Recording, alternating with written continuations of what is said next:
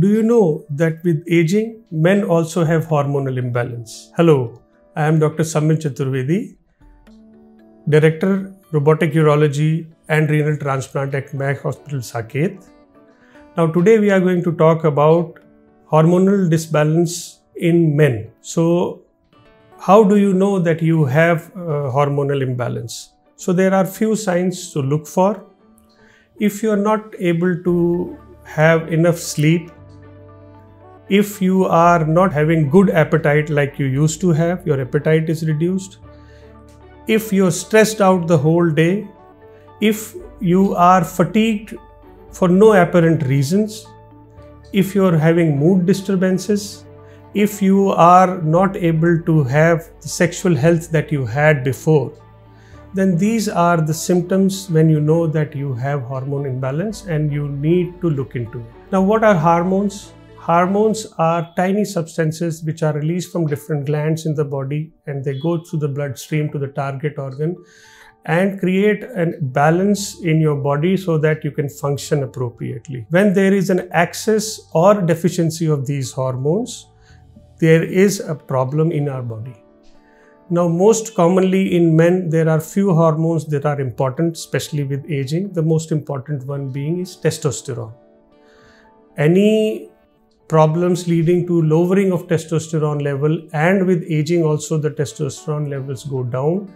It may lead to hormonal imbalance and problems. Apart from that there are other hormones like thyroid adrenal these glands secrete hormone excess or loss of which can lead to imbalance. So we need to look into it.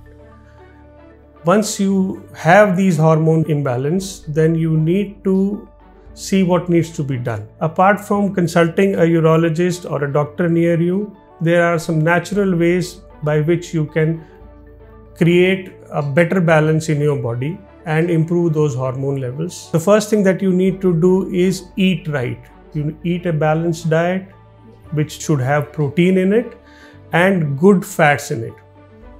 You need to exercise regularly you need to have at least six to eight hours of sleep every day.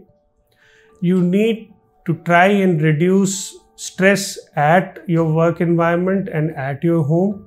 You need to take supplements, vitamins, and minerals to create that balance. Even after doing this, if you think that the symptoms are not going, then you need to consult your doctor.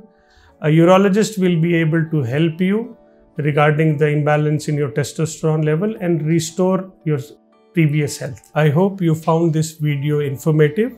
If you have any questions or queries, you can ask them in the comment section below. Thank you very much.